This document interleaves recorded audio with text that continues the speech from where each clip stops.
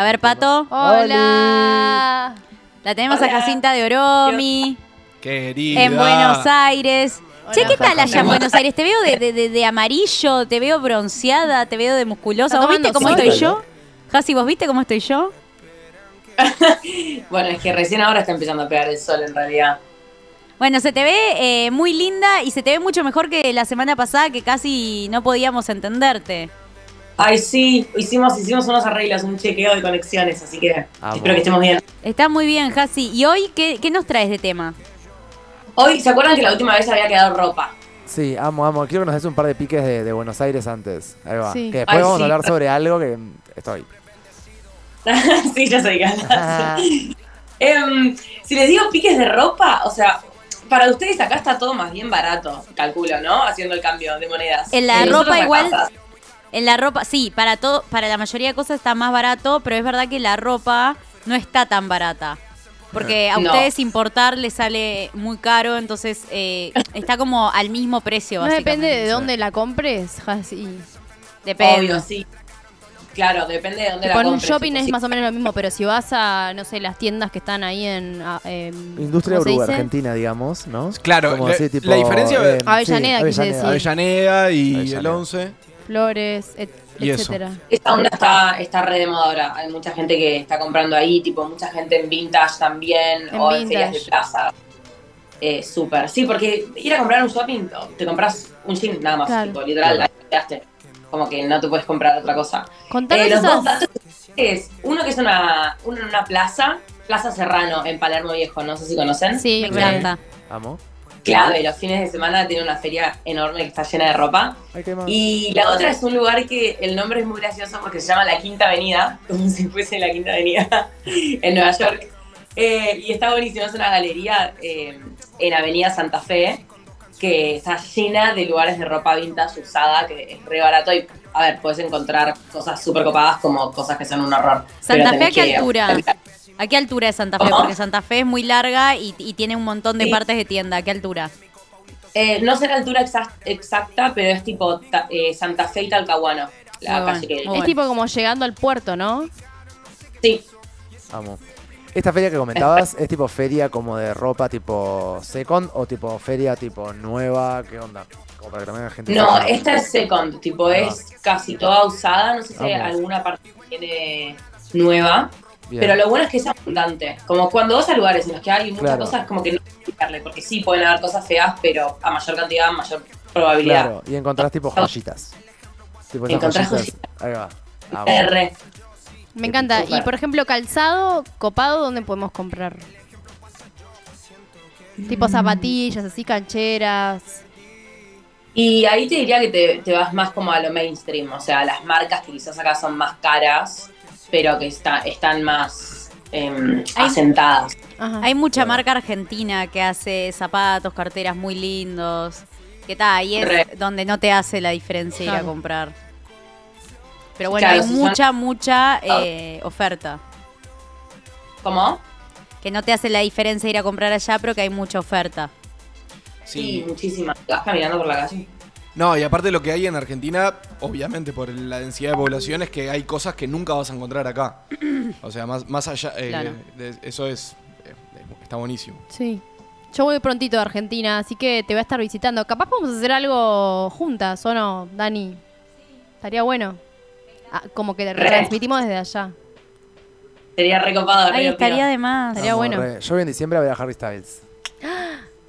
¿Cuándo Ay, toca? es verdad. ¿Qué fecha? 3 y 4 de diciembre. El 3 es el primer show que se agotó al toque. Y yo, como el 12 de enero, que me quedé sin entrada. Y dije, este año va a ser una mierda. Y ahí, por suerte sacó otro show. Y todo el año pasó a tener sentido. Ah. Amo. Yo iba a ir este ¿En qué fin de semana. Sí. ¿Para qué dijiste? jaja? Ah, jaja. ¿En qué, en qué estadio toca? Ay, no me acuerdo. En La Plata. Eh, No, creo que. A ver. Ay. No, No sabe a dónde va, Pato. Ay, no me acuerdo, es que lo cambió porque al principio el tour era en un lado y después ahora cuando después post pandemia, porque es el mismo tour que iba a ser antes pre pandemia Ah. y al final Va, ahora- igual Harry Styles levantó mucho después de la pandemia Sí. también, como que en realidad ahora el show sale como... Sí, se la agotó, o sea, agotó y tuvo que hacer otro, un, Qué flash. ¿Y agotó Eh, el segundo también? Sí, creo que Oh. sí. Estaría además que un día tipo nos traiga shows de, del mes, porque en Argentina van un montón de artistas que acá no llegan. Salado. Y ah, muchos- no, Uruguay no. O sea, muchos vienen, pero muchos no. Por ejemplo, ahora va Coldplay, fue Daddy Yankee. eh, ¿Quién más estuvo este año ahí? Iba a ir Justin. Sí, Justin.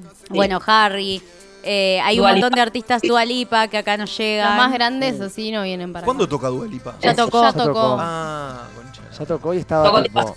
Qué mujerón Dua Salió Lipa. el lineup de Lola Palusa hablando de artistas. Ay, sí, Ah, Salió. sí. Quiero ir. Yo, una, yo también quiero ir, pero la, la preventa ya se agotó. Sé que hicieron una preventa y ya se Ah, agotó. loco. ¿En serio? y ahora van a. No, no sé cuándo sacan las entradas de nuevo.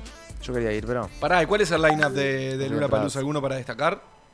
Y sé que, va, una de las que a mí más me importan es eh, Billie Eilish, viene el último día. Mira. Rosalía creo que También. también, ¿no? Opa. ¿Quién? Rosalía creo que leí que iba a estar o no. Ah, sí, Rosalía vuelve, porque Rosalía vino a Argentina, no sé si fue a Uruguay. No, Uruguay no. Ah, qué raro, yo pensé que frecuentaban los dos países al mismo tiempo cuando alguien...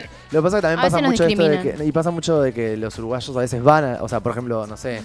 eh, tanto Rosalía, Dúa, fue mucha gente, mucho Uruguay. Coldplay, Sí, claro. o sea, como que pasan mucho. Saben que. Yo creo que muchos artistas saben que, que Uruguay va. Claro. Entonces Claro. como que los concentran ahí. El tema es que también pasa, como no sé, como pasó con Harry o con ciertos artistas, que lanzan y dentro de Argentina es tanta población que lo agotan mismo Argentina. Entonces como que Claro. a veces no tenés ni chance a comprar. Eh, Harry toca en el estadio de River. Estoy viendo acá.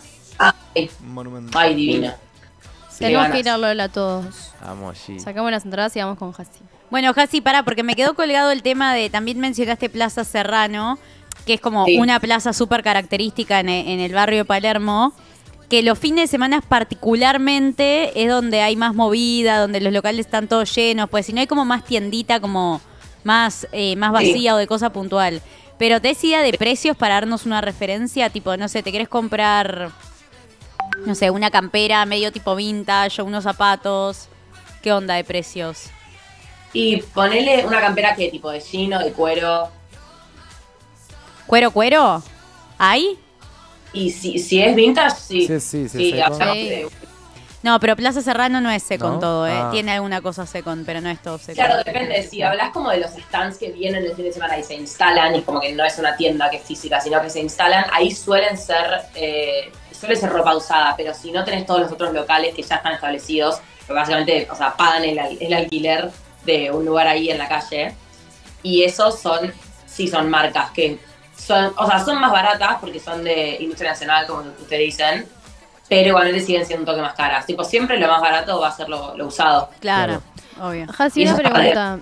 Eh, por ejemplo, porque nosotros como que reconocemos Plaza Serrano, como que si vas a Buenos Aires siempre vas a, a- a visitar Plaza Serrano, pero ¿qué otras ferias así parecidas pueden, podemos encontrar en, en Buenos Aires o mismo quizás afuera de Buenos Aires, pero como en la, en la zona ahí, tipo periferia? Mm, Hay una que es muy característica, que es la de Plaza Francia, no sé si ubican, No, ¿ves? y Contame. que es como en una plaza que está en el, cerca del Museo de Bellas Artes, Bien. por ahí les- Y está como en el límite de Palermo Recoleta. Y esa es más como de artesani, artesanías, se dice. Sí. Tipo manualidades, como anillos. Es más, creo que tengo un anillo ahí. Ah, no es cerca de una. de un. Ay, ¿cómo es que se dice? No es un anfiteatro, pero es como un, eh, un sector cultural, así como. Tampoco es un Sí, museo. del Centro Cultural Recoleta. ahí va, el Centro Cultural Recoleta. Es por ahí, ¿no? Sí, Ahí va. al lado. Sí, sí, sí, eso me Es la acuerdo. plaza que está al lado. Bien. Y esa es como, no tanto ropa, pero más manualidades. Claro. Encontrás collares, anillos o nada que ver, mates también. Hay ropa también un poco, pero muy poco. Claro. Pará. ¿y qué onda los outlets de Burruchaga? Ah, sí, buena pregunta. ¿Puede ser? Eh, sí. Están buenos. O sea, siento que es algo que se está reponiendo de moda, ¿viste? Como la gente buscando alternativas. Yo acá, por lo menos que soy acá, me, me cruzo todo el tiempo en TikTok esos blogs de un día en los outlets de no sé dónde, o un día yendo a Avellaneda y te muestran todo lo que se compran. Total, como que re. siento que eso está re. No sé si allá existe, hacen cosas parecidas o nada que ver. Muchos uruguayos lo hacen también en Argentina, como que van a Sí. Avellaneda y muestran todo lo que se compraron por ni Sí. idea, ponele un día entero de compras a 100 dólares y te muestran que quizás no te podías probar la ropa, que tenías que comprar por mayor, que fueron con su hermana y su amiga, no sé qué, y así se compraron. Sí. Eh, es un tema Sí. comprar la ropa así también, Es que porque no hay probadores ni siquiera. Sí, no, y pasa muchas veces Sí. eso de como el por mayor de que tipo, ta, ok, querés la prenda, pero tenés que comprar seis. Y es tipo, ta, ok, Igual, me llevo dos la colores yo, verdad- se lleva dos colores de mi hermana, dos colores de mi madre. tipo, todas andan con la misma remera en diferentes colores, es gracioso. A veces lo que claro. pasa es que como el precio de la prenda es tan bajito, o sea, capaz te estás comprando una campera tipo divina con toda la onda por 300 pesos uruguayos, que obviamente no te la puedes llevar sola, pues tenés que comprar más cosas, pero te vale la pena comprar otra igual en otro color, eh, llevarte un regalo, comprarte dos remeras básicas y ta, y te hace la compra, ¿entendés? Y capaz terminas pagando mil uruguayos, pero te compraste dos camperas y tres remeras. Claro, sí, te, te rindió.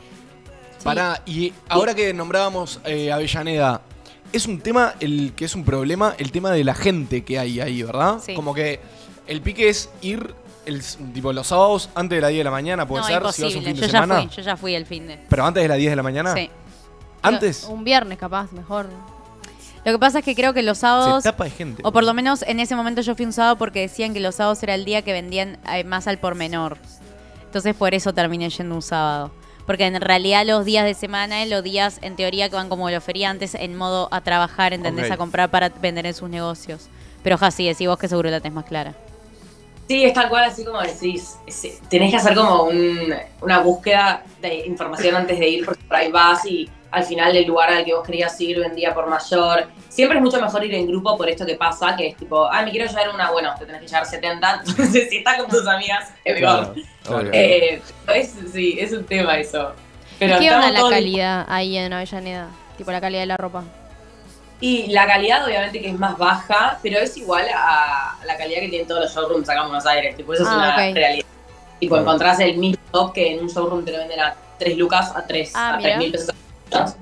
Y ahí por ahí lo compras a 500, ponele. Claro, Lo que pasa es que el showroom tiene como un pienso atrás de marca, tipo alquila un, un showroom, probar no sé qué te lo puedes probar, ab- abre determinados días, entonces como que te lo, te lo venden también porque compran tipo una colección y tal, y es como que es más aesthetic. Como más Ah, exclusivo. aesthetic. Claro, pero... Ah, te venden total. Claro, pero en realidad lo sacan de Avellaneda, las típicas camperas peludas, viste, tipo abrigadas, o esas que se usaron ahora tipo medio... ¿Cómo se llaman? Las que son como nubecitas. Sí. Puffer. Las puffer. Las son. puffer. Puffer. Bien, Sí. Hasi, y, te, y aprovecho a cambiar de tema, pero a hablar un poco eh, también sobre eh, tu podcast, que lo estuvimos mencionando otro día cuando estuviste, y ahora saca- sacaste, bueno, un capítulo que, que tal, yo lo escuché y, y estuvo muy bueno. Opino muy igual a vos en muchos aspectos, pero nada, quiero que Qué nos bueno. cuentes un, un poco vos de qué trata y eso, como bueno, que nos cuentes a nosotros y, eh, y a, y a la gente que nos está viendo, que hagas la intro vos y después estaría bueno capaz que bueno, charlarlos entre nosotros, debatirlo un poco, qué opinamos, por qué, bueno. por qué capaz yo justo antes de, de acá le decía a ellos, pa, que zarpado, tratamos no de hablar como para poder que salga todo al aire, pero le dije tipo, comparto mucho pensamiento de lo que dice Hasi en, su- en el podcast, entonces capaz que está bueno también como entre nosotros ver tipo, opino igual, así, porque, o sea, porque yo dije tipo, si me pongo a hablar con Hasi seguramente opinamos igual, es como, está, vamos en, vamos para adelante y justamente está bueno como como entender, ¿entendés? Como poder preguntarnos, entonces siento capaz que nada, que está bueno capaz que vos cuentes un poco, capaz que te van a introducir obviamente que tenés un podcast y todo eso, que lo contamos el otro día, pero bueno, que, cuentes un poco sobre este último capítulo que está bueno y, y justo hoy hablamos un poco sobre amistad entre el hombre y la mujer o gente de tu mismo sexo y como esas cosas.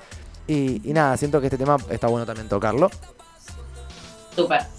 Eh, sí, bueno, justo hoy saqué eh, el último episodio que lo titulé Salir del closet con tres comillas a los lados, como con muchas comillas, con exageradas comillas. Em, mi- en mi podcast que se llama Tipo, que es una palabra que repito demasiado, perdón si la estoy repitiendo demasiado.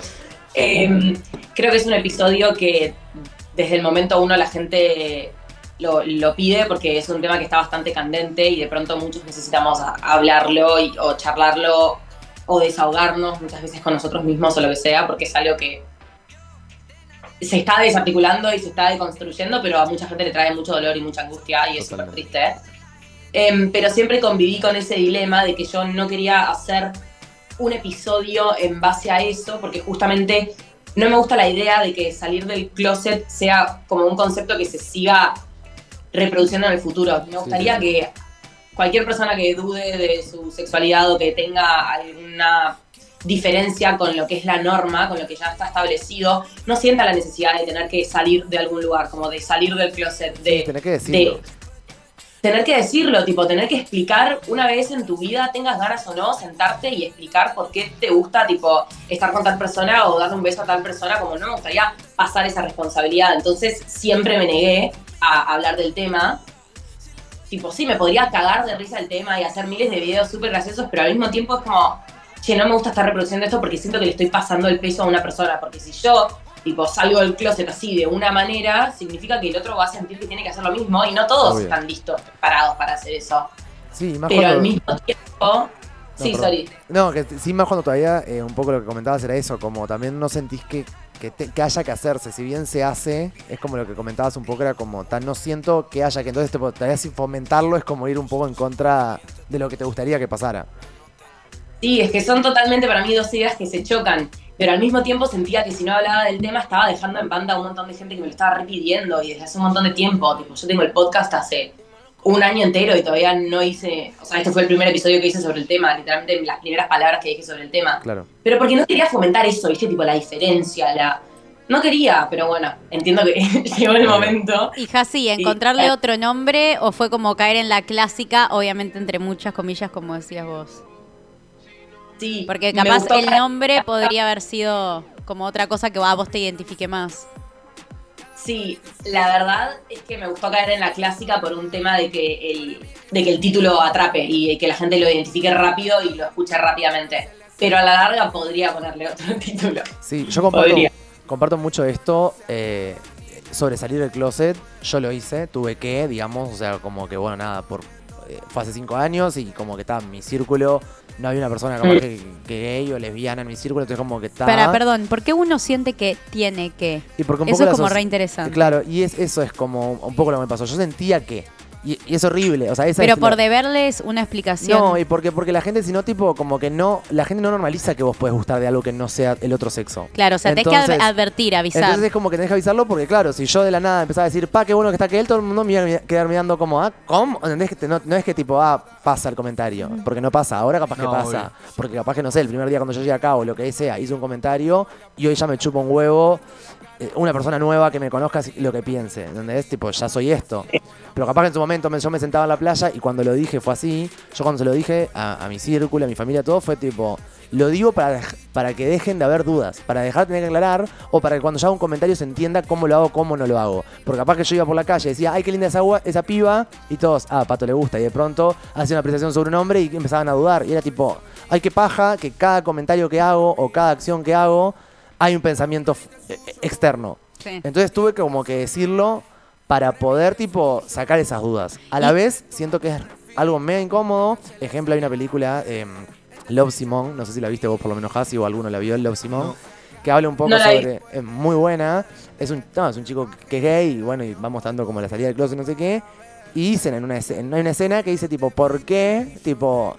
O sea, lo tenemos que decir, lo, claro, los que no somos la norma, dice, porque si la norma fuera ser homosexual, dice, ¿cómo sería? Entonces muestran a todos los amigos heterosexuales, a todos los otros personajes, sentándose enfrente a los padres, y era tipo, mamá, papá, soy heterosexual. Ah, Y tipo, y la, y la madre tipo, no, ¿qué hice? O la madre tipo, no, nosotros que somos cristianos. O nosotros, tipo, como todo lo, todo lo que le pasa a una persona gay cuando tiene que salir del closet. A la vez, yo pienso lo mismo, o sea, yo en su momento lo necesité.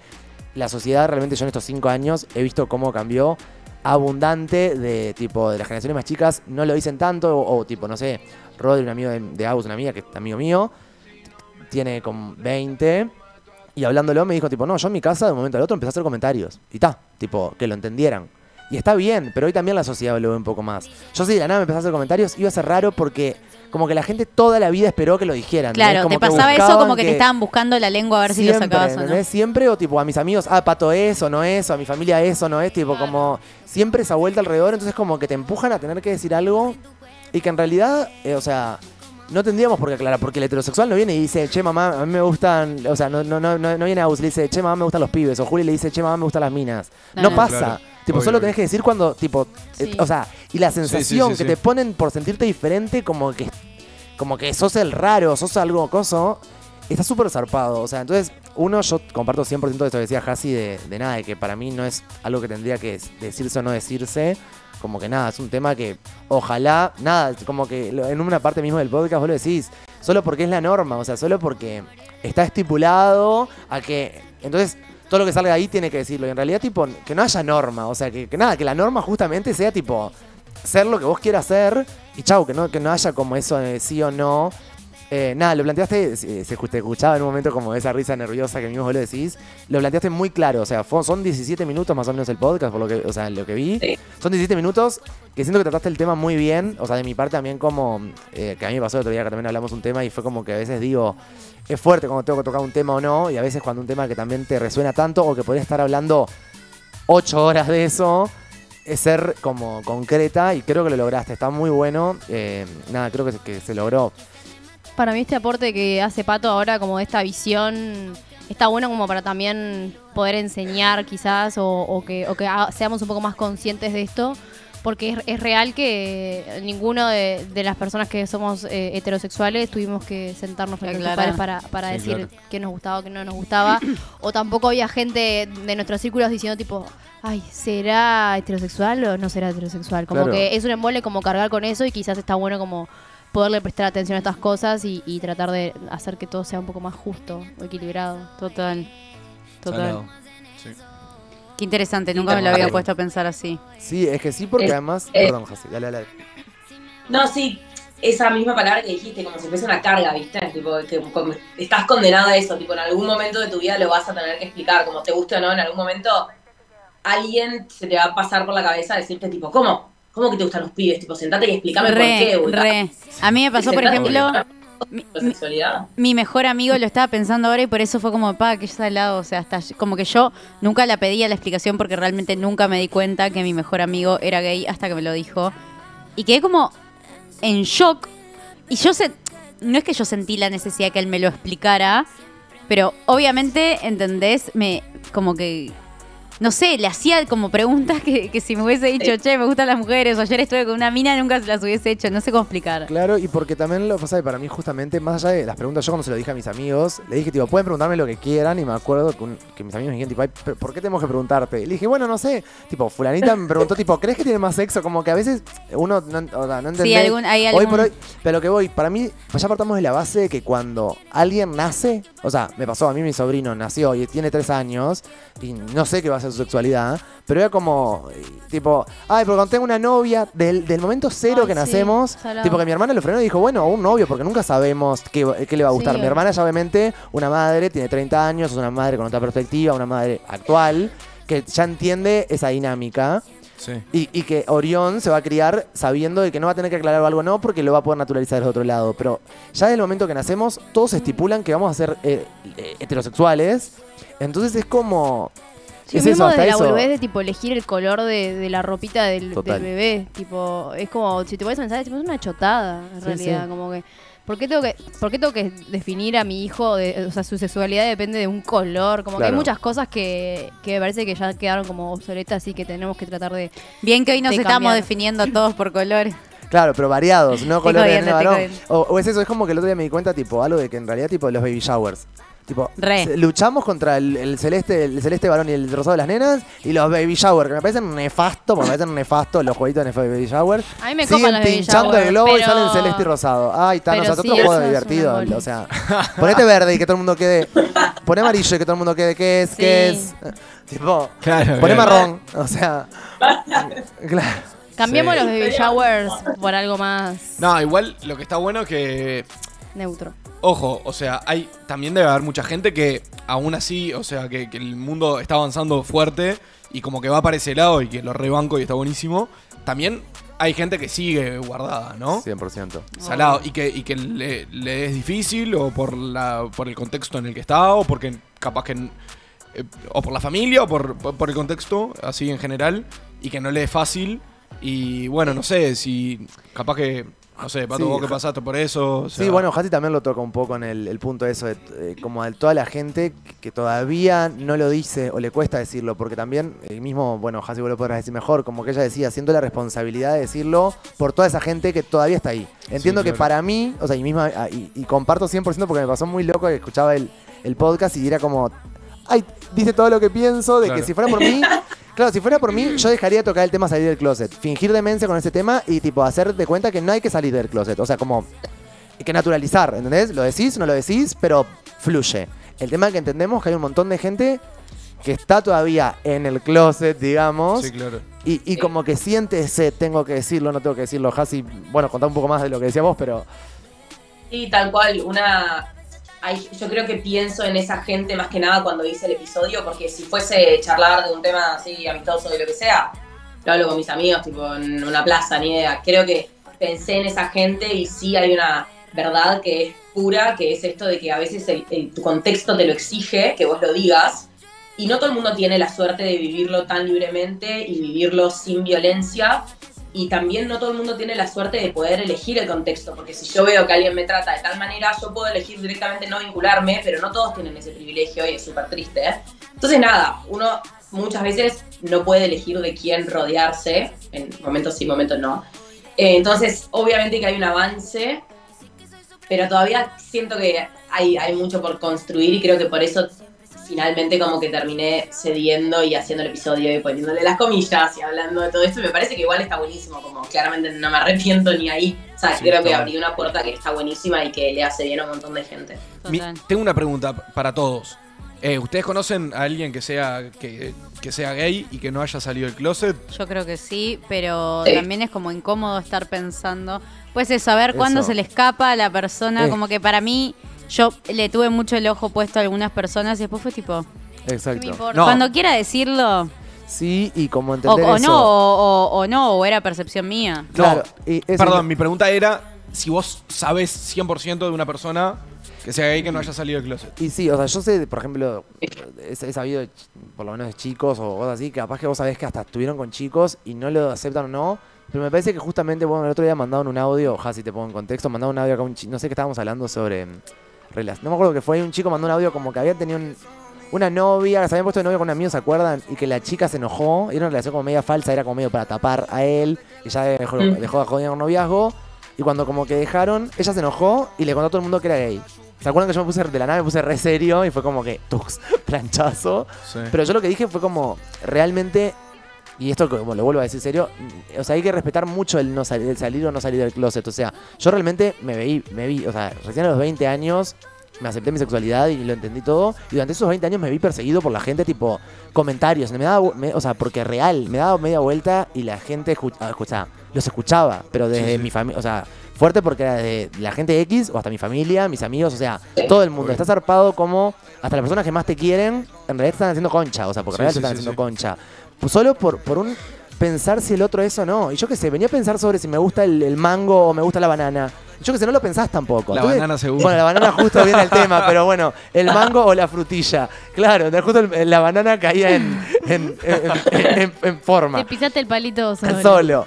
Pero, pero como eso, como que si no, eh, es eso, me parece que hay que, hay que aprender, es un ejercicio y, y- y, ojo, yo también lo hago, porque a veces yo también caigo como en eso, pero a veces es hasta el prejuzgar de, ahí este debe ser, ¿por qué? Porque tiene un tono, no sé, en caso de un hombre, porque habla un poco agudo, porque tiene muchas mu- porque tiene muchas amigas mujeres, porque es un poco femenino. Hay muchos contextos para eso, o sea, yo qué sé, tipo, igual que la mujer, porque es un poco más masculina, ¿por qué? Porque se rapó un costado es torta. Ay, pará, tipo, al final vivimos en una sociedad con que queremos hacernos todos los desconstruidos y vestirnos cada uno como quiere, Total. pero si una mina se rapa al costado, sos torta, o tipo, olela es torta seguro. Entonces, como que hay que aprender a, a dejar de estar cuestionándonos si el otro es o no es, porque si es, es una presión horrible si no lo está pudiendo aceptárselo, porque a veces ni vos mismo te lo ves. O sea, es un trabajo que ni uno mismo a veces lo llega a ver. No, también hay mucho de rechazo de querer, eh, como de querer intentar todo para no ser, digamos. Pertenecer a un grupo. Para Claro. mí eso es, es como Sí. re- la sensación de querer pertenecer a algo